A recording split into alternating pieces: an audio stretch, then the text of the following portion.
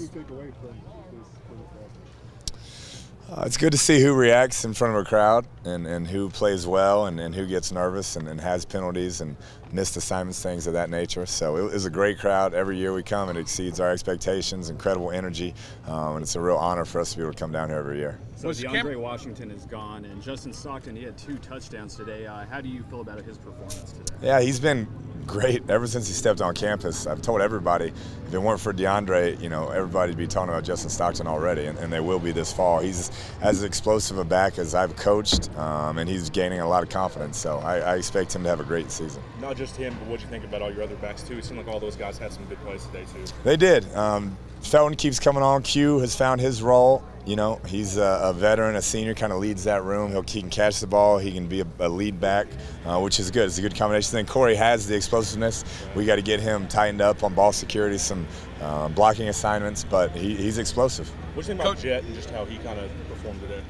He did good. He did good. I think he was a little shaky early, made some good throws. Um, been really impressed the way he stepped in all spring, though. I think he hasn't acted like it's too big for him. He's one of those kids that thinks he's by fall camp he's going to beat Pat out, and that's what you want. Um, so we'll, we'll keep working him. But for his first live scrimmage in front of people, I thought he did a good job. Coach, think did you, of what do you think about uh, Cameron Batson today? He, it looked like he really stood out.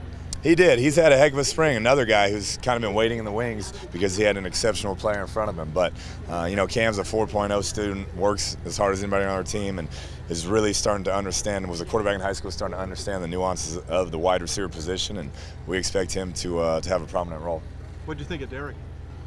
Uh, he did, you know, made a heck of a play. That's something we've been looking for. Reg gives us a little bit of that, extending the field, but that, you know, when you're 6'5 and can do that and jump like he can, that, that's a big deal. Um, so it was fun to see him go get that ball, and he's starting to get more comfortable. He missed a few practices early in spring, but uh, you know, with his work ethic, who knows what can happen. What did you think about the dunk, or were you not pleased about that? No, I let them have fun in, in these type of situations. I mean, they know we're not going to do that in the game, um, but out here, let's have fun. It's fun for the fans, and we're trying to put on the best show we can. So uh, Des Smith, he's a local guy from Permian here. Um, first year on your team. Uh, what can you expect from him this year?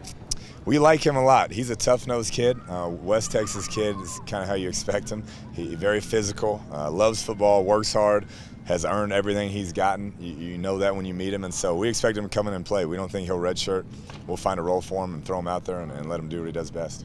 O line, D line today. What you think? Seems like a D line kind of you know got after maybe a little bit at times today. Yeah, they did a good job. Um, they rotated a bunch of groups. It wasn't exactly ones on twos all the time or ones on ones. So um, I'll have to watch the film. But th- there's some younger guys with Gary Moore and obviously Breiden, um, Kolin Hill. I think that, that made some plays today.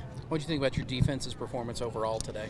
I'll have to watch it. Like I said, the way they rotate is different than how we rotate. Um, they try to get it more game-like, where we are going ones and twos for the entire drive. So we'll see when our ones are matched up on some of their threes. We scored a couple of those touchdowns, things of that nature. So we'll have to watch the film. But I thought the energy was good. I thought they created a couple of turnovers, which is uh, what we want. You talked about uh, Stawarz and Steele on the left side. Looked like y'all were running behind them pretty good, and uh, they did a pretty good job, I thought. I think so. Steele, redshirt freshman, has the size, physicality, work ethic, work ethic, all the things you want. Uh, we expect him to, to be one of those starting tackles. We don't know which one yet. And then Stawarz, he's coming. He's got a ways to go. Um, we still have three years with him, so we're really trying to find that. I'd say that fourth piece. Um, we feel good about Baylen and Murphy, uh, Tony Morales, Steele, and then a bunch of guys are battling for that that fourth and fifth piece, really. So um, it'll be it'll be a good battle the rest of spring camp. One more.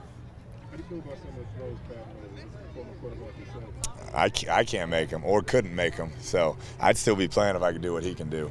Um, his his improvement, not you know playing baseball, focusing solely on football, has been incredible. So it's scary to see what he's going to do this next year, but I'm excited to watch it. He's been phenomenal all spring.